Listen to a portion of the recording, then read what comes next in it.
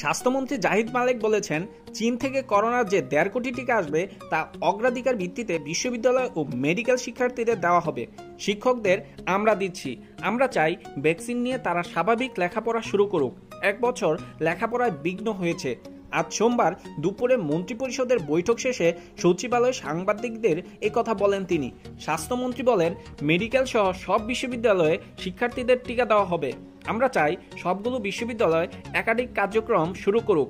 এজন্য যতগুলো বিশ্ববিদ্যালয় আছে, সরকারি, বেসরকারি, ছাত্রছাত্রী, শিক্ষক, সবাইকে আমরা অগ্রাধিকার ভিত্তিতে দেওয়ার চেষ্টা করব। জাহিদ মালিক বলেন, স্বাস্থ্য মন্ত্রণালয় থেকে পরামর্শ হলো, সব জেলায় কোভিডের সংক্রমণ ঊর্ধ্বমুখী। সেখানে আমাদের পরামর্শ লকডাউন দেওয়া হোক, যাতে সারা দেশে ছড়িয়ে না পড়ে। করোনা যে দেশে বৃদ্ধি পেয়েছে, সে দেশের অর্থনীতি মারাত্মকভাবে ভেঙে পড়েছে।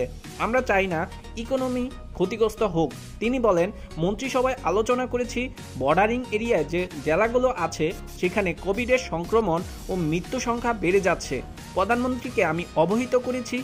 উনি বলেছেন, লকডাউন ছয় জুন পর্যন্ত বাড়ানো হয়েছে। এ বিষয়ে আরও বেশি পদক্ষেপ গ্রহণ করার জন্য মন্ত্রিপরিষদ সচিবকে নির্দেশনা দিয়েছেন। বলেছেন, আরও বেশি করে প্রচার প্রচারণা করার জন্য। নতুন টিকা দেশে আসা মাত্রই আবারও নিবন্ধন শুরু হবে। ফাইজারের টিকা নিবন্ধনকারীদের মধ্যে থেকে অগ্রাধিকার ভিত্তিতে দেওয়া হবে বলে জানান তিনি।